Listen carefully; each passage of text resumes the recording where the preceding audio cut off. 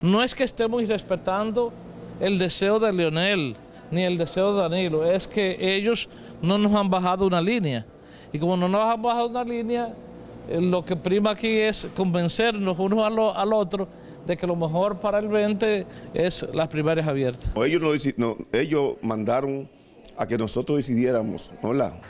Yo creo que el compañero Leonel Fernández no puede eh, ahora tratar de de, querer o de persuadir a nadie. Pero entiendo que bajo el esquema del padrón actual del PLD no es posible hacer una convención cerrada. Con el partido puede pensar diferente a nosotros.